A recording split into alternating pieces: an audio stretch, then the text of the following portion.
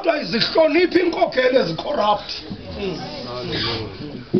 sinika lo mthandazo. Nani kuni? Uthixo enibone nam ngokunyathela kwenu. Ayongeze le ndawo ikhule kakhulu namandinikeza iintsuku zokuphila. Uminqweno yam yonke yokuthandazela esi sizwe.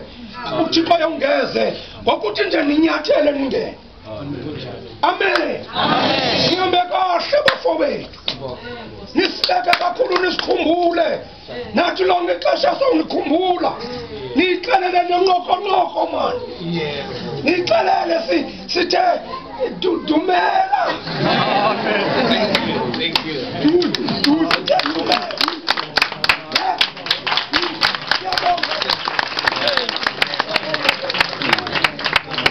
Niambeka niambeka kusema niambeka kusema niambeka kusema